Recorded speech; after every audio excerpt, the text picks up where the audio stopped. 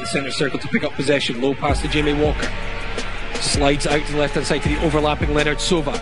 Early ball in from the fullback. Gonçalves header! Oh, and it's off the, off the post possibly. It was the keeper who got touch in the end. Looked to be heading in by Esmael Gonçalves. Lovely ball from Sowah. Headed away by Sowah. Good ball. Good ball from Julius, picks out Sowah on the left. Early crossing looking for. Touch once goal. It's a wonderful finish.